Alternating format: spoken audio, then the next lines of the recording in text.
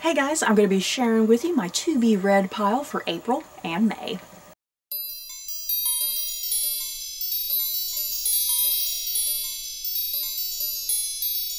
So before I head into my TBR plans for April and May, let's talk about my February-March TBR.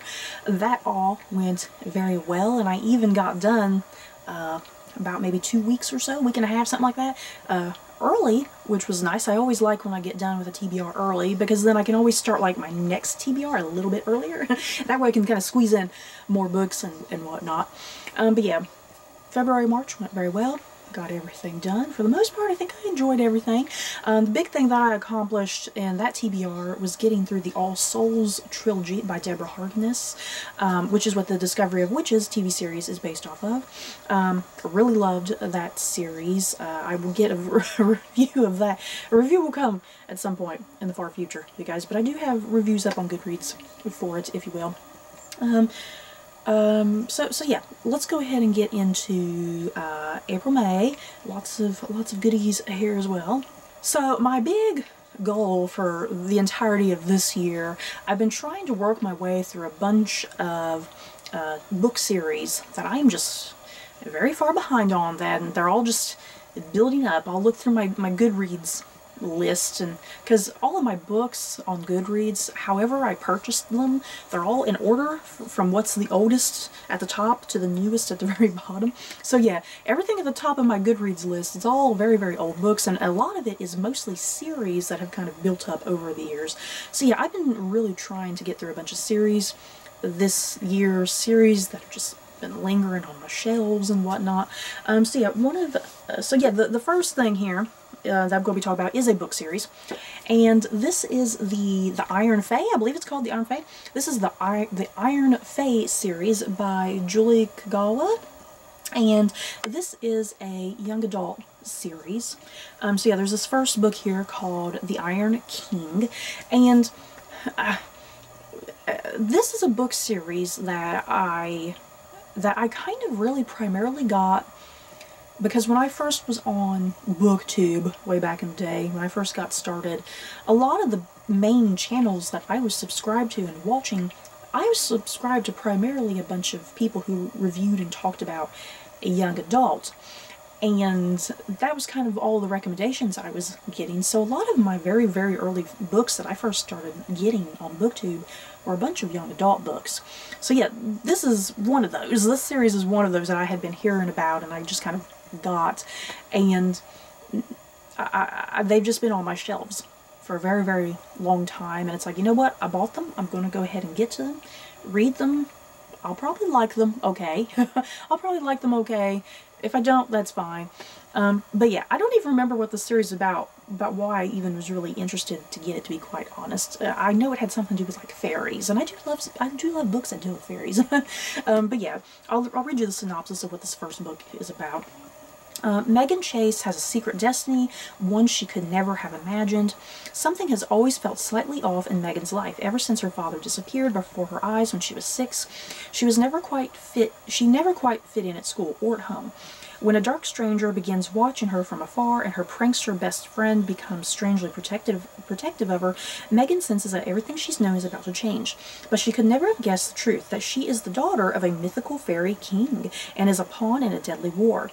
Now Megan will learn just how far she'll go to save someone who cares about uh, she cares about to stop a mysterious evil no fairy creature dare face, and to find love with a young prince who might rather see her dead than let her touch his icy heart. this this definitely sounds so young adult cliche. uh, like I said, I, I, got this way back in the day. I, I, I, almost really don't have an interest in reading it, but I mean, I, I purchased these. I'm going to read them. I'm the type of person that when I buy a book, I'm going to read it either way. Even if I kind of lose interest in it. I'm not sitting there wasting my money. I am not wasting my money. But on the plus side, this series, um, I did purchase all these at like a used bookstore, used used bookstore, so I didn't waste a lot of money if that's the case. But still, I might pleasantly like these, and I do want to give them a chance. I, I do, like I said, I do like books that deal with fairies and whatnot. But this may end up be pleasantly surprising for me. Who knows? So yeah, there's that first book, and then the second book is called Iron Daughter. Book three is Iron Queen. And then the last book is uh, Iron Knight. And then I do know there's definitely like a spin-off series after this. I definitely have no intention of, of going into the spin-off series. Even if something happens I do really enjoy these, I still have no intention of going into the spin-off books. Um, and yeah, oh god, these covers. This is definitely really classic cliche young adult covers, isn't it? Oh lord. Okay, moving on from that, something else that I've been trying to accomplish throughout this year, I've been trying to catch up on a bunch of Disney, Disney themed books that I have lying around in my room. Oh lord, this is sticking. What's sticking? There's something, oh I remember now. There was something sticking on this other book down here that I had peeled off. Like, you know, when Barnes & Noble sits and puts little price tags and stuff on their books or whatever book club stuff. Yeah, that's what I peeled off. That's why it's sticky. Okay, I, I got distracted. The stickiness on this book distracted me. Um, so yeah, I've been trying to get through the um, uh, Twisted Tales book series. So yeah, this is up next in Twisted Tales, and this is Unbirthday by Liz Braswell. And what all of these Twisted Tales books do, they take what you're already familiar with, with your, with, with your favorite classic Disney movies, and they twist something about the narrative that's going to affect the entire story. So yeah, this one is asking, what if Wonderland was in peril and Alice was very, very late? and yeah, we have the, the Queen of Hearts here on the cover. And yeah, I, am very curious what, what, what the what if situation is going to be. Uh, what does that mean? What if Alice was very, very late? Like, she doesn't come to Wonderland at all? what does it mean? okay, and then I have The Christie Affair by Nina de Gramont, and this is the book that I was talking about had some sticky, like a sticky tag on it that I had to peel off. You know, how do you get, let me ask y'all, how do you all get, like, the sticky price tag thingies? Can, can you hear that? Can you hear it? how do you all get that off your books because I'm afraid to damage and destroy my books by trying to rub something off. Uh, but yeah, I, I want to get rid of that. It's it's driving me nuts. It's, the sound. The sound is driving me nuts. I'm sure it's driving y'all nuts because I keep doing it. I'll stop. uh, but yeah, the Christie Affair. Um, this is, uh, let me see. Let, I don't want to go get too ahead of myself and tell you what the wrong thing about what this book is about. Okay, so in 1925, Miss Nan O'Dea infiltrated the wealthy, rarefied world of, of author Agatha Christie and her husband, Archie. In every way, she became a part of their life. First, both Christies, then just Archie. Soon, Nan became Archie's mistress, luring him away from his devoted wife, desperate to marry him. Nan's plot didn't begin the day she met Archie and Agatha. It began decades before, in Ireland, when Nan was a young girl. She and the man she loved were a star-crossed couple who were destined to be together until the Great War, a pandemic, and shameful secrets tore them apart. Then acts of unspeakable cruelty kept them separated. What drives someone to murder? What will someone do in the name of love? What kind of crime can someone never forgive? Um, so yeah, this does have something to do with Agatha Christie, probably dealing with, uh, was it her seven-day disappearance? No, or 11. No, it was 11 days, wasn't it? Um, Agatha Christie, author of, you know, popular mystery, thriller, crime novels and whatnot, um, she really disappeared, I think, for like 11 days. And it's always been this unsolved thing. She came back, never spoke of it, even until her dying days. She never spoke about it. So I'm assuming this book is going to kind of probably lead up to that point. Um, I, I did read um, another book a few years ago by Marie Benedict called uh, The Mystery of Mrs. Christie, and that had a lot to do with Agatha Christie's uh, mysterious disappearance as well. Um, so this book, I hope it's not too terribly similar. It sounds like it is a little bit different it has its own little spin. Um, but yeah, I'm definitely excited to get to this. And next up, this is a book that I believe when I did my top five most anticipated books back in January, uh, this is a book that was uh, at the very top of my list. I can't remember if it was number one on my list or just somewhere in there, but yeah, this is The Last Grand Duchess by Bryn Turnbull, and the little subtitle down here, A Novel of Olga Romanov, Imperial Russia, and Revolution. And you guys, y'all know I am a sucker for the dying days of Imperial Russia and whatnot. Um, and yeah, this is about uh, Olga Romanov, who was the eldest daughter of Tsar Nicholas II and whatnot. If y'all know your history, you know the Romanovs were uh, brutally executed back in 1918. Um, so yeah, I, am pretty excited to get to this book. Um, yeah, what is this book about? Let me tell y'all. Uh, Grand Duchess Olga Romanov comes of age amid a shifting tide for the great dynasties of Europe, but even as unrest simmers in the capital, Olga is content to live the sheltered life her parents have built for her and her sisters, hiding from the world on account of their mother's ill health, their brother Alexei's secret affliction, and rising controversy over Father Grigory Rasputin, the priest on whom the Tsarina relies. Olga's only escape comes from the grand tea parties her aunt hosts amid the shadow court of St. Petersburg, a world of opulent ballrooms, scandalous flirtation, and whispered conversation. Yes, can't wait for this, you guys. Next up, something else I've been trying to accomplish throughout this year. I have this big, gigantic bind up of uh, one, two, three, four. Yes, four. I had to count how many novels were in here. Uh, four of uh, Mark Twain's novels. Uh, back in January, I read The Adventures of Tom Sawyer, and then for my um, February March TBR, I read The Prince and the Pauper. So yeah, here for April May, um, I'm going to be doing The Adventures of Huckleberry Finn.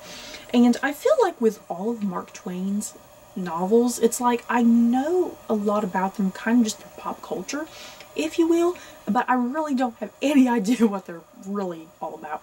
So yeah, I definitely can't wait to get to Huckleberry Finn. It's it's definitely considered like an American classic and whatnot. So yeah, I've really been enjoying uh, my, my experiences with Mark Twain so far. I've been having a really good time. They're very, very easy classic literature to read.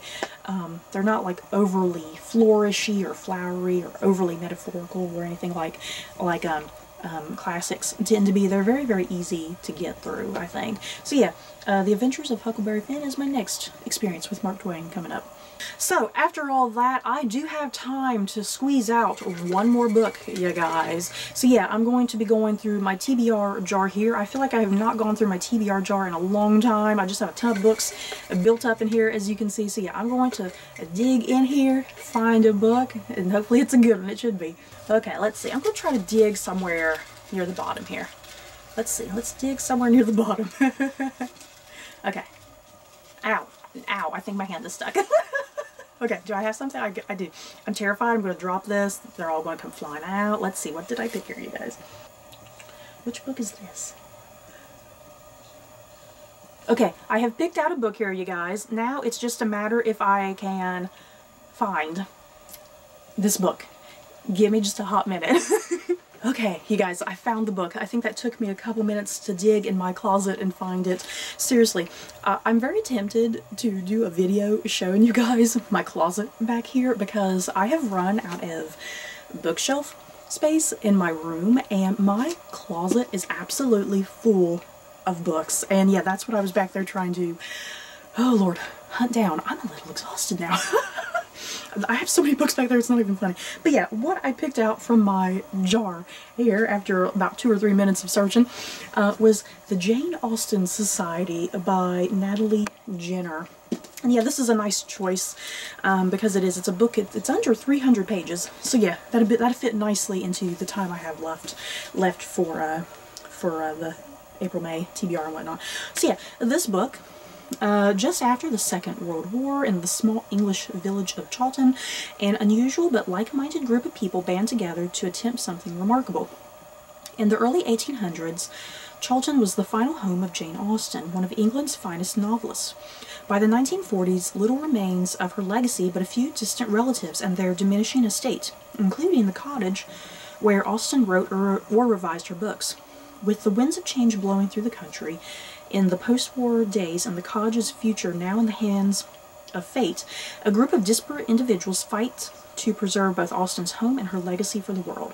These people, a farmer, a young war widow, the village doctor, an employee of Sotheby's, a Hollywood star, a local solicitor, the anticipated heiress to the estate, and a precocious housegirl could not be more different. And yet they are united in their love for the works and words of Austen. As each of them endures their own quiet struggle with the loss and trauma of war and other tragedies, they find solace, connection, and hope in rallying together to create the Jane Austen Society. Oh, this sounds so cute and charming, you guys. Um, yeah, I, I, definitely can't wait to get to this. this. This definitely just sounds right up my alley. This is like a book for people who love books, it sounds like. so you guys, that is it for my April, May TBR. Uh, in the comments below, have you guys read any of these books? Do you have any interest in them? Just let me know your thoughts. And yeah, does anybody else have a book storage issue like I do, oh my god, it's a little ridiculous. uh, so yeah, that's it for this video. You guys don't forget to like, comment, and subscribe. And if you like this video, you may like these other videos. Bye guys.